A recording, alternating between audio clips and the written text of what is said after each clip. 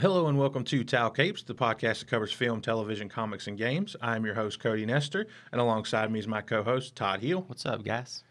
Uh, the video version of today's episode is available on YouTube. If you enjoy the show, please consider following us on your podcast platform of choice and subscribing to our YouTube channel. Today, we're talking about Five Nights at Freddy's.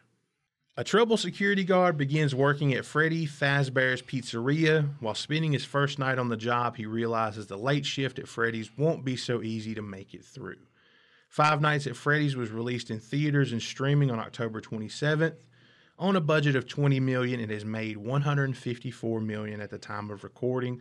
It has a Rotten Tomatoes score of 29% and an audience score of 88% pretty much the complete opposite of last week's film when Evil Lurks, which was loved by critics and not really embraced by audiences. Right. This is the exact opposite, Todd. So let's talk non spoilers. So, Todd, would you recommend people watch Five Nights at Freddy's? I personally would not. And why is that, Todd?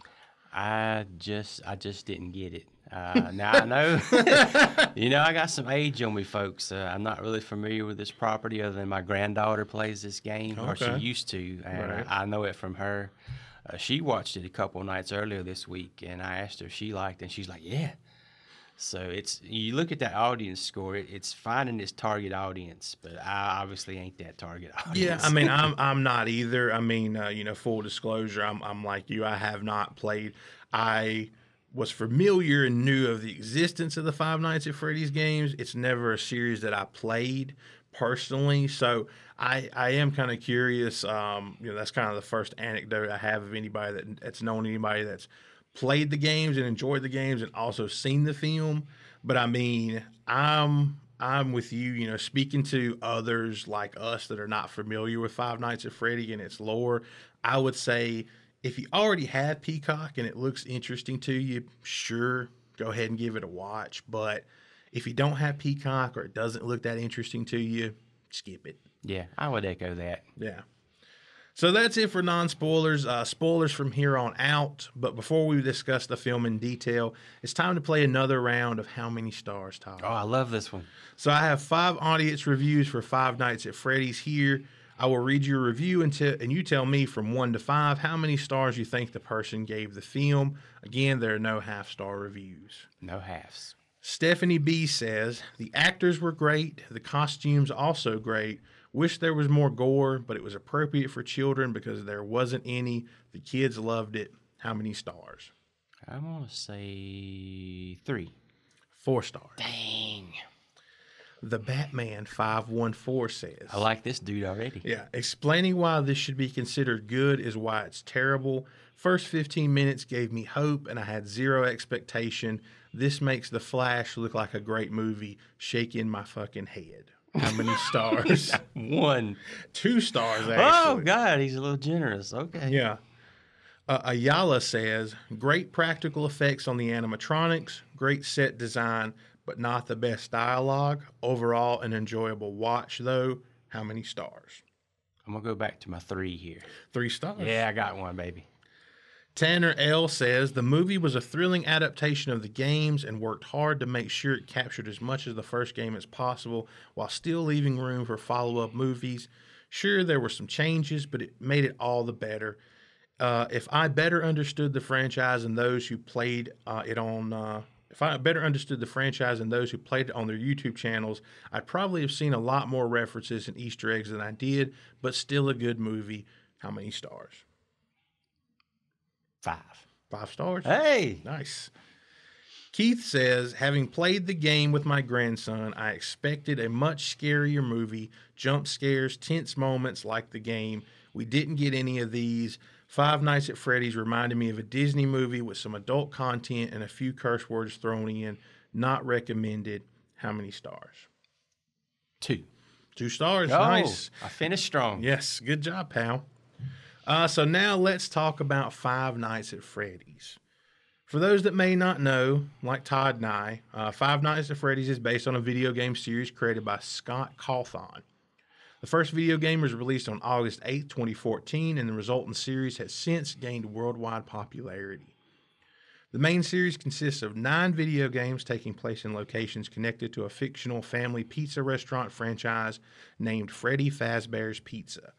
After its mascot, the animatronic bear Freddy Fazbear, in most games, the player assumes the role of a nighttime employee who must utilize tools such as security cameras, lights, doors, and vents to defend themselves against the animatronic characters who inhabit the location and become mobile and hostile at night. With that said, Todd, walk us through the opening of the film. Uh, so we're first introduced to a security guard. He's working overnight at the old abandoned Freddy Fazbear's Pizzeria. We see him uh, captured. He's strapped into some type of device, uh, getting ready to get his face mangled. Kills him. Uh, flash forward a little later, we're introduced to uh, Mike, Mike Schmidt, I think his name was. You know, I don't even, it is Mike Schmidt, yeah, Yeah. actually. Uh, he's actually a mall security guy. He actually winds up getting fired because he chases down a guy and beats him up because he thought he was kidnapping his own kid. Yeah, exactly. Uh, we didn't see Mike at his kind of career supervisor's office. His name was Steve Raglan. Uh, he offers, offers him a job at that same pizzeria, you know, being the night security guy. He first kind of refuses it, but then he realizes he needs that job because he's in a custody battle or getting ready to be in a custody battle for his younger sister that lives with him, Abby. Uh, his aunt's trying to take her away, so he's like, I got to take the job. Yeah, absolutely. And then uh, you know, for for uh, Freddy Fazbear's Pizzeria, you know, kind of think Chuck E. Cheese meets a showbiz pizza place from hell. Yeah. that's pretty much what Freddy Fazbear's Pizzeria is. And you mentioned uh, Steve Raglan, his uh, kind of career counselor, played by uh, Matthew Lillard, of course, Scream alum Stu Macher in uh, the Scream films. Um, did you kind of figure he would come back at some point, Todd? You kind of got to thinking that, you know, that's a pretty big name just to be like a throw off counselor. Right. So. Exactly. I was like, well, I mean, the ending of this film was actually spoiled for me by TikTok, but that's not here or there. But I figured he would come back at some point. Uh, so do you realize we watched three Josh Hutcherson films this week, Todd? I did until I started this thing, and uh, he was like, you know, getting up out of bed, and I was like, "Shit, there's Peter." Yeah, exactly. so uh, we watched this film and the first two Hunger Games uh, this week for Popcorn Mumbles. I- I'm getting kind of hutched out. Uh, so during his first night at Freddy Fazbear's Pizzeria, uh, Mike falls asleep and he dreams about his brother Garrett's kidnapping. So that's kind of Mike's magic, uh, um, tragic backstory here. So when he was 12, he witnessed his brother's abduction. It's kind of set up in, in the film that Mike kind of medicinally induces sleep to kind of search his dreams for clues about his kidnapped brother. Uh, in his dream, he begins to see five children, but when Mike tries to kind of approach them, they, uh, you just all kind of see them scatter and run away from him. Uh, so on the second night he's there, Mike has the same dream, but when he attempts to confront one of the children, he is attacked and uh, causing him to kind of startle awake. And he also notices there's that from where he was attacked, he's got like kind of like an injury on his arm, uh, Freddy Krueger style. Uh, he Mike uh, Mike meets with uh, police officer Vanessa Shelly, who notices his wounds. She bandages him up, fixes him up, and she uh, kind of shows him around the restaurant. Tells him that it was closed in the '80s because a bunch of kids got abducted. I don't know about you, but I was immediately kind of sus about Vanessa. Yeah, she seemed a little sketchy. She's kind of way too enthusiastic about that old busted up pizza joint and Yeah. those animatronics. She's like, "Hey, look at this." Yeah, and she she knows too much about the place and the animatronics. Like you know, like she's got more backstory to her. You know, it's it's pretty just in your face that like this girl knows more than she's letting on. Uh, Mike's whole reason for taking the job, like you said, is uh, to look good in the eyes of the court to kind of keep Ab- uh, Abby away from his uh, aunt Jane. Mike has a babysitter named Max that kind of watches Abby during the day or during the nights uh, when he works at uh, Freddy Fazbear's uh, while he works. Uh, so you know, right before um, things kind of took a turn with Max, I Yeah. was like, you know, good on this girl for helping out this basket case of a man. You know, with watching out, you know, watching this kid for him. But Yeah. no, that thought was short lived. Todd, uh, tell us about the plot that Max is a part of. So she's kind of involved with this gang that gets hired by Aunt Jane to uh, kind of go in and trash the pizza place after Mike leaves, kind of make it look like he's negligent in his job, uh, hopefully to get him fired. So it'll kind of make her uh, court case trying to win back the sister a little bit more easier to win. Yeah. Uh, the gang actually does break in, starts trashing the place, and gets eliminated by the animatronic animals. Yeah, so the mascots we've got, we've got Freddy Fazbear, uh, Bonnie. Uh, I think that's the blue one, right? I believe so. Chica is like the the yellow kind of chicken. Chicken, yeah. Uh, Foxy, obviously we know which that one looks like, and Mr. Cupcake, which is the one that uh, Chica holds all the time in its hand. Yeah.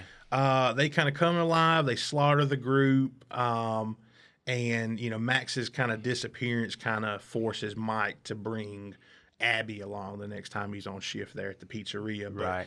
Did any of the kills inside the pizzeria when we first kind of see the animatronics kind of come to life and, and kill that little gang of uh, uh, people that break in? Any of those kills stand out to you?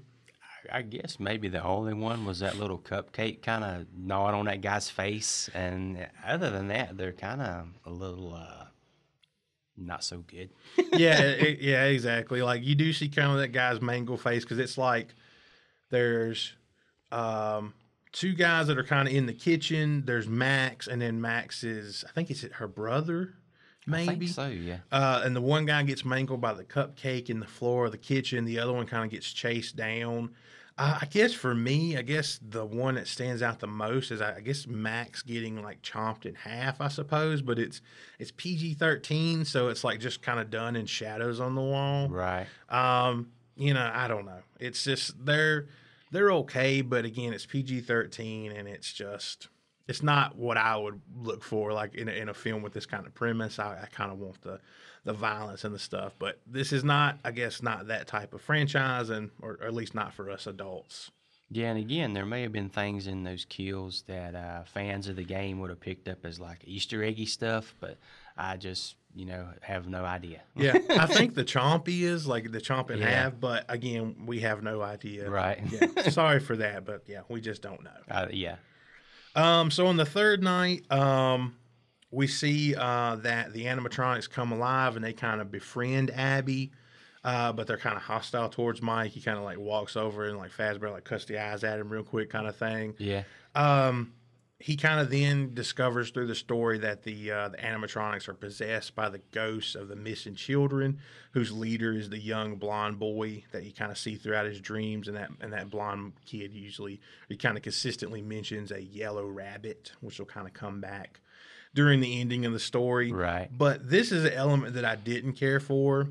Again, maybe it's this way in the games. I don't think it is, from my understanding, but I would have rather had the animatronics remain hostile the entire time, at least up until the ending. Like, it's just you kind of lose a little bit of the creepiness that they had from the animatronics when you just kind of see them building a fort Right. with the little girl. You know what I mean? You kind that's the only thing this movie has going for it is those animatronics and the little bit of creepiness they have, and it's kind of thrown out the window halfway through when they're just like, yeah, let's have a good fun time and build this fort. Mm-mm. I just kind of, I mean, am I crazy? Would you just rather would would you have rather kind of seen them just kind of remain hostile until maybe the ending when things you know kind of work out the way they work out? Yeah, I think so. I mean, you know, other than those scenes where their eyes kind of get red and you know they're gotten written, you know, They're switched to kill mode. yeah, the switch to kill switch on them. Uh, they just kind of look like just kind of you know cuddly looking creatures. Am I am I wrong here? No, I mean, I mean, I think, I mean, obviously that's the intention, and they're made for to entertain kids and everything. But yeah, and then, like I said, they're they're hostile until they befriend Abby, and then it's like, okay, kind of some of the threats kind of taken away. If it was just them being threatening through the whole film, I think it would have been a little bit better to me. But maybe it's an element of the game we don't know. But I think in the games they were just kind of hostile all the way out through. I think so too. Yeah, from what I've heard, yeah. So uh, during that uh, fourth night, uh, Abby is accidentally injured when she, Mike, and Vanessa are kind of bonding with the animatronics. Abby just like rocks too hard and strums one of the guitars and gets blown across the room. Marty McFly style. Right yeah, there. exactly. uh, Vanessa learns Mike is attempting to identify Garrett's kidnapper and warns him not to bring Abby to the restaurant again. She actually says, "If you do, I'll shoot you," which pretty sus. yeah. Okay. Uh, Mike gets Jane, uh, uh, Aunt Jane, to babysit Abby, much to her frustration, as he goes back to the restaurant during the day and overdoses on sleeping pills. Again, trying to calm his dreams to make contact with their children and also kind of learn details about his brother's kidnapping. Uh, on the fifth night, the children appear in Mike's subsequent dream and tell him that he can stay with Garrett forever in exchange for Abby. The little creepy children want Abby. Mm. Uh, Mike initially accepts their proposal, but when he changes his mind, he is attacked and wakes up strapped to the torture device. So it's kind of like, I guess, one of the animatronic masks kind of like mounted and it's just kind of coming straight at your face Right. to kind of gnaw you up, I guess, or to turn you into one of them potentially, which Possibly, maybe yeah. we, we'll talk about a little bit later on. Uh, he escapes the device by removing the pins that uh, that security guard, kind of his predecessor in the chair you mentioned before, Right. had loosened, uh, and he gets kind of wounded by Foxy. It's like the second or third time we see like Foxy like scuttle down that hallway. Did that have you just pissing your pants in fear, Todd? Uh, no pants pissing here. I'm sorry. Yeah. Uh, so Foxy is actually the only character, if I'm not mistaken, with a voice. You can kind of hear Foxy kind of like humming before he kind of attacks. Yeah. Uh, the rest kind of just lip sync to uh, the songs that they're programmed to. What's the song? What's the main song in the movie? Um, Uh, what is it? something in the night. Oh, I can't remember. Oh, I have to look it up. That's gonna bother me. I know, right? It's gonna bother me the whole rest of the time. Uh, was it walking in your sleep? That's it. Walking in- I hear Yeah. the sick. Yeah. That's We're it, back, yeah. baby. Yeah, that's it. Yeah, that they they sing that. Uh, I'll sing no more. I don't want to be monetized. is that right? uh, but uh, yeah, they kind of pre-program. They the rest of them just kind of limp sync to that song or into it, another song that I forget what it is. But anyway, meanwhile, a damaged uh, yellow Freddy animatronic uh, possessed by that blonde boy uh, kills Jan when he goes to their little house and apartment and takes Abby back to the restaurant in a taxi. Mm. I really dislike that taxi scene, Todd. Yeah, nothing about that scene made any sense whatsoever. Yeah, so to set it up, so Abby goes outside and she jumps in a taxi, and the guy just goes, "We're too little, girl." So my thing is, first off, if you're an Uber driver or a taxi driver, and like a 12 year old girl gets into your taxi, unaccompanied minor gets into your taxi, are you just going to be like, go with it, and be like, "We're too little, lady"? are you going to ask a couple fucking questions? I mean, I wouldn't uh, be an Uber driver and just start driving some kid around, would you? No. It makes no sense. But anyway, that gap in logic. Uh, but then we get Freddy Fazbear coming out and climbing his fat ass in the car and then just kind of weighing it down. And it's like it's there for humor. It's there to be like a little humorous moment of ha ha ha, look at this big ass animatronic in the back of this taxi. Isn't this unusual? Yes, it is, and it's terrible. That's right. It's so unusual. It doesn't work. Yeah, it does. Did that did that scene have you pissing your pants in laughter, Todd? Uh, no more pissing here either. yeah, so you just pissed yourself because you're old and you have bladder control issues. Yeah, that's the only reason I do it, folks. Okay. uh, all right, Todd. So take us through the ending of the film. Okay, let me see if I got the breath for all this. Here we go. Okay. uh, Vanessa comes upon Mike and uh, finds out he's been injured. She treats those injuries and uh, she kind of comes clean about why she's been so sketchy throughout this whole thing. Uh, she tells Mike that her father is actually that serial killer that killed those five kids back in the day at the pizzeria. Yeah, William Afton. Yep. And the reason they never found any bodies is because they were stashed in the one place who the hell would think to look? They're in the animatronics. Right, right, They ain't just haunted, them kids is in there. right. Which is a creepy kind of element. I, I did. I was kind of like kind of put off a little bit by the possession of the animatronic angle, but like it was kind of a little bit of a nice little added bonus that they're like, oh, he put the bodies in the animatronics too. That that was cool. I'll give it that. So when they realize that uh, Abby's life is in danger, as they're possibly wanting to turn her into one of those animatronics and keep her forever, uh, Mike rushes back to the pizzeria. Uh, Vanessa kind of gives him some tips on how to take out the creatures. You know, electric shocks. You know, tasers. yeah, he's got a taser. He's got like a cattle prod with him. Right, cattle prod. I forgot about the cattle prod. Uh, let's see. He gets back to the pizzeria. He manages to dis- disable a couple, I think, with the cattle prod and some water. Was it? Yeah, he like to, he there. There's like two on the stage. I think again doing uh, their performance of walking in your in your sleep, Right. up on the stage because I guess that's what they do when no Yeah. one's around watching. They still perform, and he takes like a bucket of water and kind of throws it on the stage, and I think uses the I think he uses the taser Yeah, I think you're right. and like uses the taser to kind of like electrify them in the water and kind of puts those two out of commission. It's the blue one, I think Bonnie, and it's Fazbear is the two he takes out first. Yeah, and I think Foxy kind of gets away, and he sh- she's kind of chasing after Abby, and Abby gets in the ball pit, Mm-hmm. and uh, you know, long story short, they kind of all get disabled, and then Vanessa kind of shows up back at the pizzeria along with her dun dun dun yellow rabbit suited dad. Yeah. Now the the the yellow rabbit reveal, the suit and everything, I thought that was yeah, the way it looked. I thought was real cool. It was. I will give it that. I will give it that.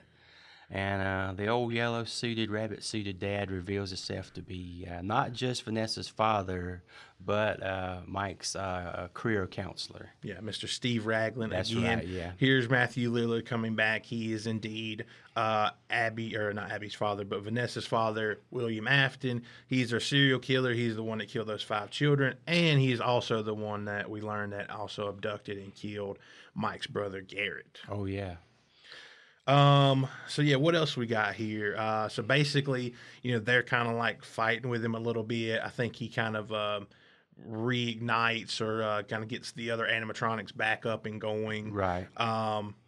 He's got some kind of power or control over them somehow, and that's why Abby Yes. starts drawing that picture. Yeah. So like Abby's kind of set up during the film. She's like, that's all. She doesn't really talk too much. She just loves to draw. Um. And there's a bunch of drawings on the wall of like um, kind of drawings that were put there by by kids that, that kind of paint the yellow rabbit in a good light Right. to the other animatronics because like you said he does have some kind of influence over their minds to like make them do the things that they're doing Yeah. so they the way that uh, uh, Stu Macher's defeated is uh, Abby kind of draws a picture and hangs it on the wall for the animatronics to see. The yellow rabbit is not good. She draws like a picture of like the yellow rabbit showing him like murdering all them as children Yeah. basically and kind of hangs it on the wall and that kind of triggers them to be like oh yeah this guy's an asshole he killed all of us we should do something about that Yeah. so they set upon him basically from that point And might I add, it's it was nice to see, although it wasn't as long, a nice little uh, Matthew Lillard like uh, meltdown, frothing, uh, slobbering kind of right scene, a la Scream. yeah exactly. that was cool. yeah the uh, i have it as a note later but i'll just put it in here but my favorite part of this entire film involves him and he's got like a he's got a big ass knife in this like a almost bowie knife size and he does the uh, kind of iconic scream knife white Oh yeah, in that. That's my favorite part of the movie. Yeah. If that tells you anything about how much I enjoyed this film. But yeah, so basically, um, you know, they all the other animatronics they kind of uh, go in and they start. Uh, I think it's like they even like trigger his suit to start the spring locks yeah, and it inside starts of it clamping down on him and crushing him. and his ribs and stuff. Yeah, so like they they kind of turn on him. Uh, Mr. Cupcake bites off part of his suit, uh, and that's what triggers the internal spring lock. Right, so, right, yeah. kind of in, crush, in crushing his midsection. It kind of fatally wounds him.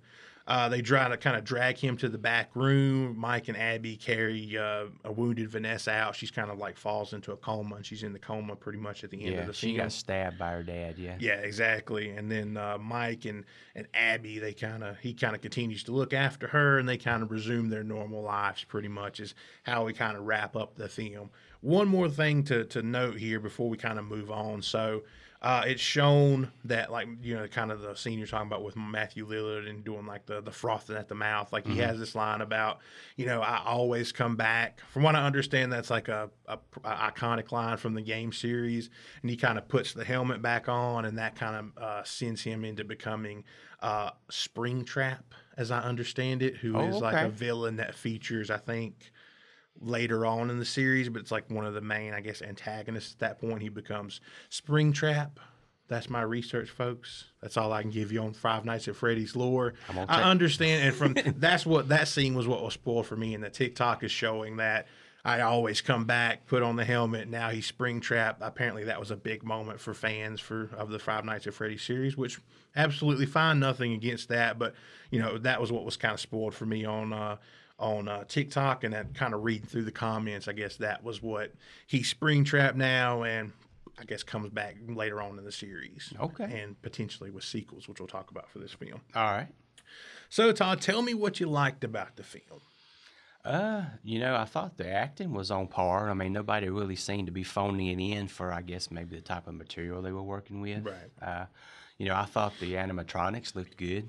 Maybe they could have been a little creepier, a little scarier, but for what they were, I thought they looked great. Yeah, that was a question I had for you. Um, you know about how the look of the, the film. The film film looked great. The animatronics looked good. Uh, Jim Henson's Creature Shop. They did the uh, the uh, creation of the the Freddy Fazbear animatronics.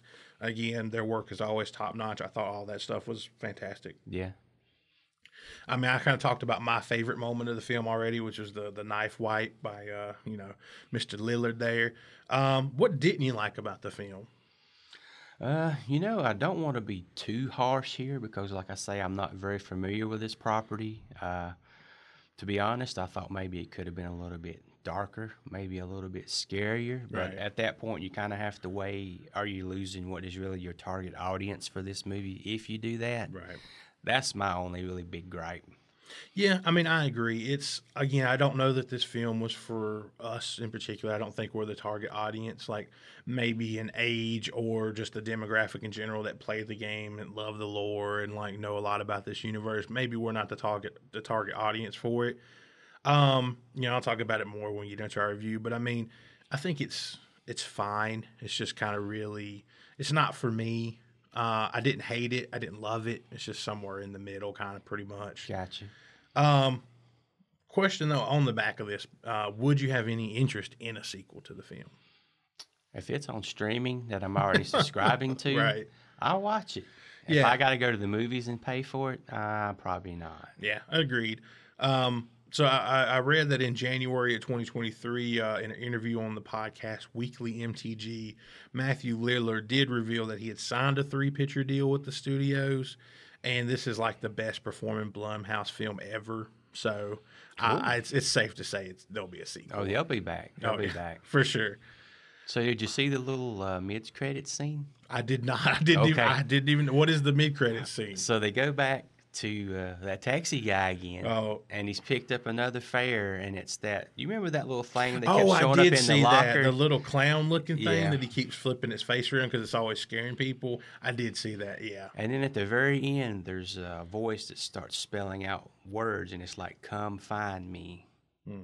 And then it goes off. So I'm sure fans probably know exactly that- what that is, exactly and they lost their mind. I'm just like, okie dokie. Yeah, exactly. let's uh, let's watch something else now. Right? No, I, I did not. I didn't hear the the ending voice. I did see that mid credit scene. I just Yeah. forgot that I saw it with the little clown just scared him in his car or whatever.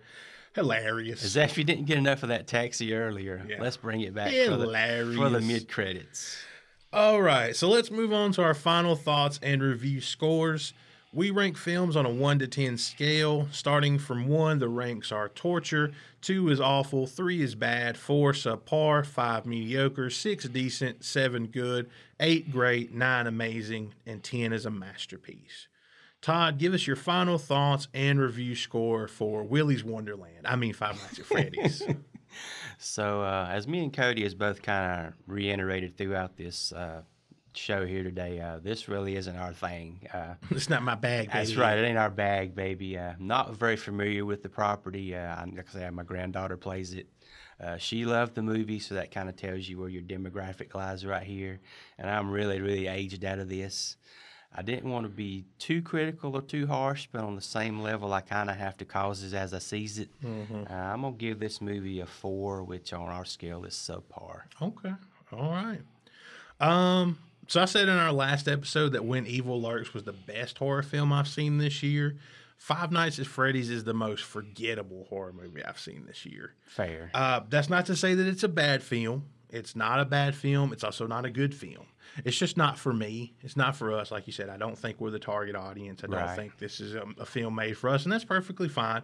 But again, you have to balance out your enjoyment of it versus is this kind of for you, and then kind of being honest to what you thought of the film. Uh, I mean, it's a PG 13 horror film that doesn't deliver any real scares at all. Uh, I see it as a film that's going to do well with parents that want to take their kids or let their kids watch a spooky film, you know, quote unquote.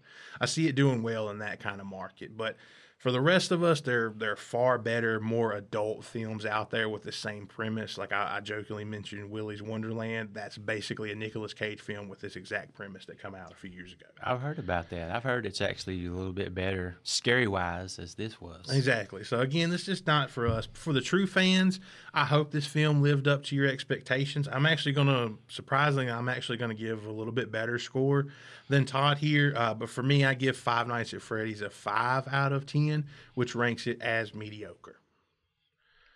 So Todd, tell everyone how they can find us and stay up to date with us on social media. We are at Towel Capes on YouTube, Twitter, and Instagram. Uh, Towel Capes Podcast on Facebook. You can also email us at towelcapespod at gmail.com. Uh, also, if you're so obliged, leaving us a five star review on your podcast app of choice really helps the show. Be on the lookout for this week's Popcorn Mumbles, where we'll be talking about the 2012 film The Hunger Games and its 2013 sequel, The Hunger Games Catching Fire. Towel Capes will return next week. We want to thank you so much for listening. Until next time, bye, guys. Later, y'all.